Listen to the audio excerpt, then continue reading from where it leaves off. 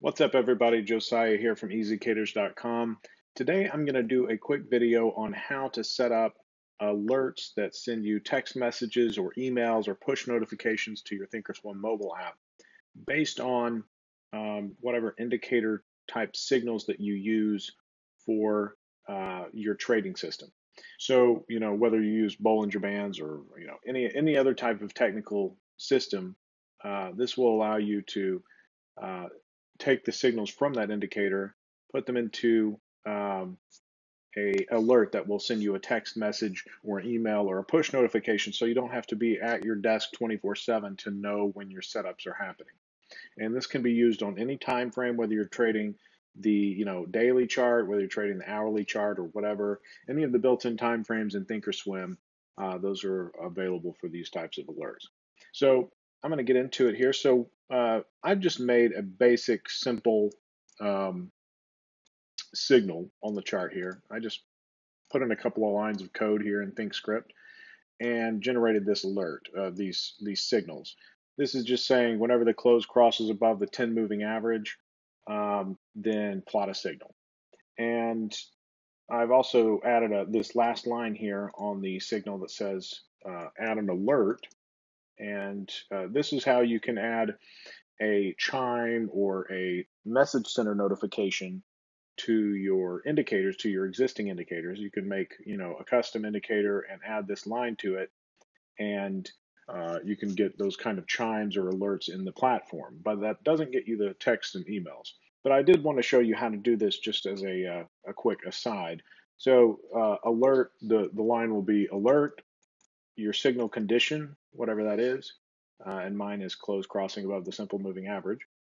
And then uh, you can put the text here that you want to show up in Message Center, and you can say, okay, I want it to alert on a bar by bar basis or one and then done, etc. And then you can choose a sound that you want it to play whenever um, that signal happens. So that would be, you know, sound.ding or sound.ring or anything else, uh, any of the other built-in sounds. So anyway, but I've just added this, you know, kind of silly indicator to my chart, and uh, just for illus uh, illustrative purposes. And so I wanted to show you how to set up a, uh, a alert system based on that. So uh, we can get the chimes and, and uh, message center notifications just from this indicator, but that doesn't get us the text and emails and, plat, uh, and push notifications to the mobile app. Now there are um, the built-in alerts in Thinkorswim, Market Watch alerts. And from here, you can create a study alert and choose, uh, you can go in here to the condition editor here and choose whichever study you want to base it off of.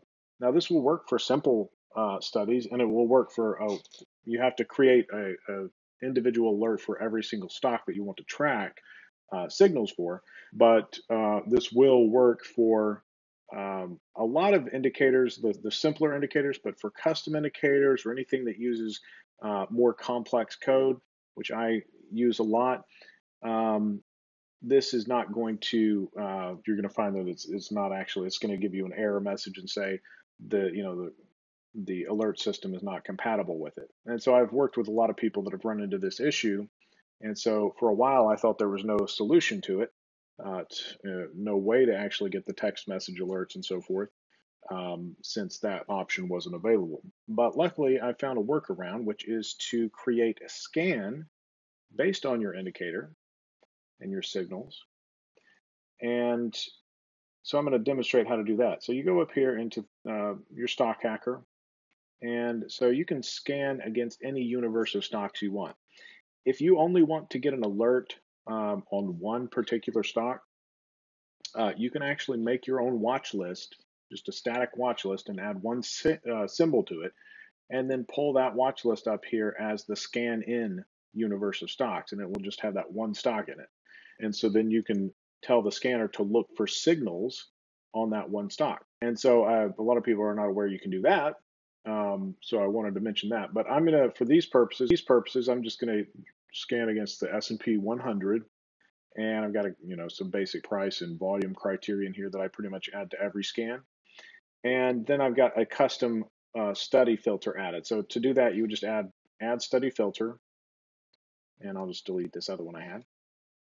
And I'm to go into the editor here and just uh, paste in my indicator code. And so I don't need all that extra stuff, the presentation stuff. I just need the actual logic of the signal. So I deleted all that. And now, so I've got this plot signal equals close crosses above moving average. So it's basically saying uh, if this statement is true, add the stock to the um, results list. And the statement is close crosses above simple moving average 10. So if that is true for that particular stock, then it's going to add it to the results list. Uh, one thing I'm going to add to this is um, I'm going to change this to its own variable for a second and add an, uh, a second line that says plot scan equals signal. And uh, I'll uh, show you why later. But anyway, so that's uh, basically just storing the signal temporarily and then pointing the scanner at the signal by adding this plot statement. So, uh, but it, you can even, you can do this in very simple terms. You can actually remove everything except for this little statement here and Thinkorswim will still understand it as long as you have that. Um, but anyway, for this, for the, these purposes, I'm just going to set it to that. I'm going to hit save. I'm going to save this as 000 test 123. And so now I have a scan that's looking for my signals. But uh, I have to sit here and hit scan and refresh this every, you know, to, to find the signal. So this doesn't solve the problem yet. So we need to pull it up on the sidebar. And to do that, you add a new watch list widget down here, which I've already done. And you will click the title and go find that scan that you just created. And so I pulled that up here, and this will dynamically now, it will now dynamically pull up scan results from this. What this does is that Thinkorswim will automatically refresh the scan on the sidebar about every three minutes. Uh, it's kind of a little bit uh, some during certain times of the day when the network is bogged down or whatever happens. Um, it gets a little bit uh, unreliable, but uh, generally you should expect it to be refreshed about every three minutes. And so, because of the three minute refresh, I did want to mention that the time frame can matter. Um, uh, the performance will, you know, and how how reliable this turns out for you will depend partly on the time frame that you choose. Because uh, with that three minute refresh, you can see how if you set the signals to a one minute time frame, uh, well, there would be two minutes during that three minute refresh uh, of the scan that they could have had a signal and the scanner wouldn't have been there to actually see it. So there's little issues like that. Uh, also, if um, you know, if and this is why I wanted to change that signal around a little bit. If you're, uh, you know, if your scan refreshes during the formation of the current bar, um, then you know that that bar is uh, still moving, the close is jumping around, and so there could be a signal there for a, one, a split second, and then it disappears a second later. And so, you know, when the scan runs, it could find a signal, and then a second later, that that signal disappears. The result would still show up in the list because when the scan was updated, uh, it found it, but uh, it disappeared after the fact because the bar was still forming. So um, and, and, that can happen in both directions. So it, you know it can scan and not find a signal, and then the signal appears later, and then you think, oh well, I, why didn't it find my signal?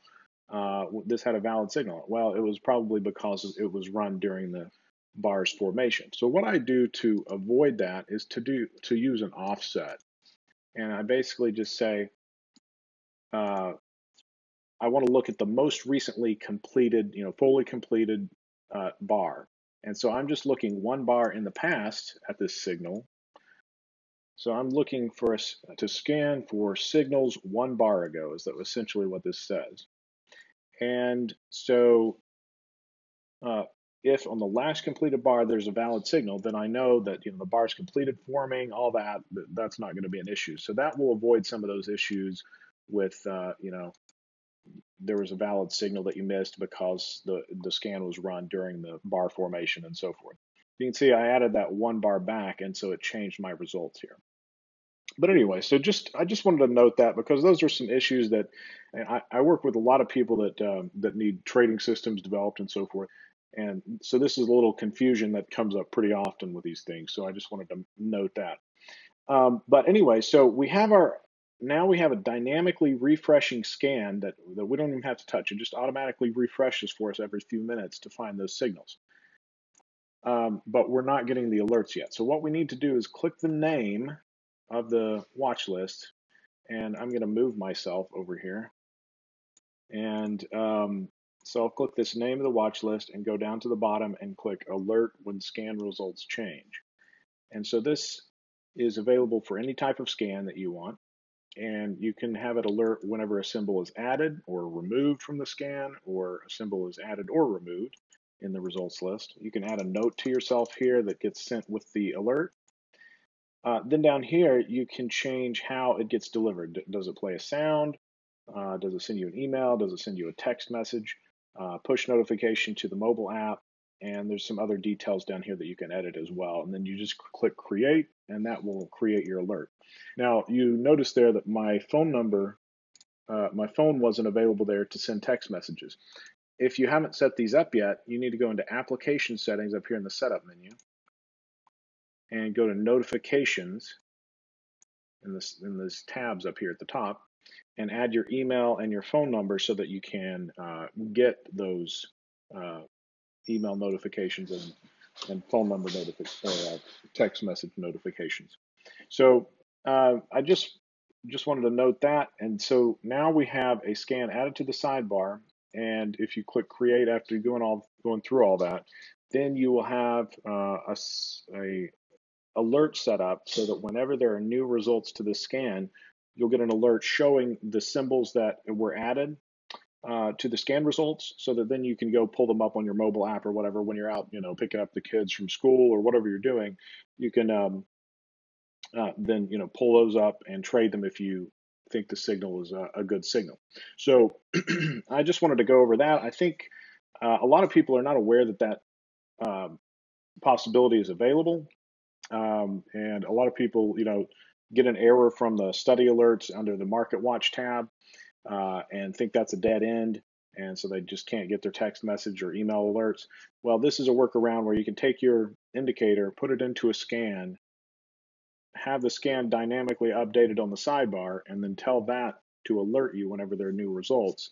And that will get you your text and email alerts so you don't have to be sitting at your desk 24 7. So hopefully that's helped. Uh, hopefully that's valuable to you and will save you some time in front of the screen. Um, if this is valuable to you, please uh, consider giving me a subscribe and a uh, thumbs up below.